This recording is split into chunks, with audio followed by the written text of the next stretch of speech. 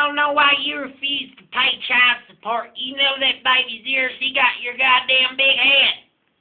And you say you won't take me on Maury Povich, you son of a bitch. You take me on Maury Povich. I'll prove, look at me when I talk to you, bitch. I'll prove to you that that motherfucker baby, fat baby bitch yours. Do you know who I am?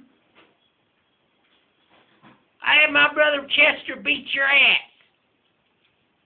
Getting all crazy and shit. That's right, go liquor store just like you know how.